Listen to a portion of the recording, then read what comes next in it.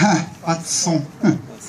Oh, vous savez, c'est comme dans la vie, il y a le petit caleçon, puis le grand calepin. Il y en a même qui ont compris. hein. Bon.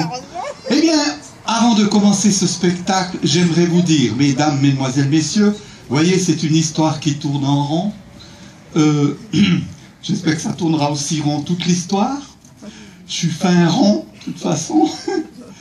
Alors, j'aimerais vous parler de ce festival Rempart, parce que nous sommes très très touchés d'avoir l'honneur d'y participer. C'est un texte qui a été rédigé par un des responsables de la communauté de communes chargée de la culture.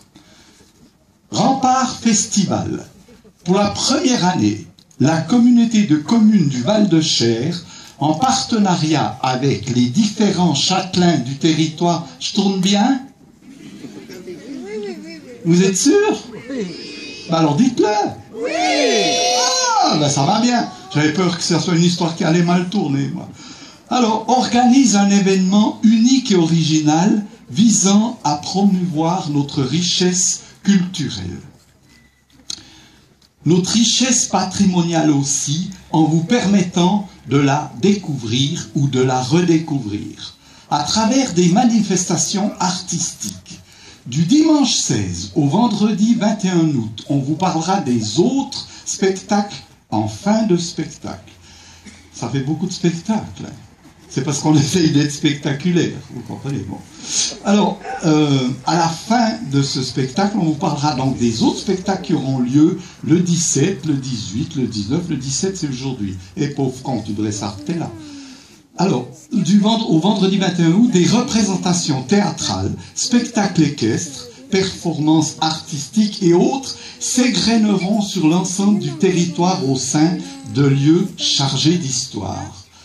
Nous estimons, et c'est ça qui m'a touché quand j'ai lu ce texte, alors j'ai eu envie de vous le lire, nous estimons que c'est particulièrement dans le contexte actuel que nous devons nous nous devons pardon, de réaffirmer notre engagement envers la culture, socle de notre société, de notre civilisation et de notre nation.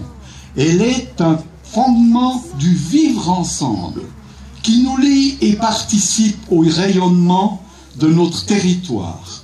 Soyons donc ensemble les piliers de cette diversité, cet échange, cette richesse, cette impertinence, ces valeurs qui fondent notre République et notre démocratie.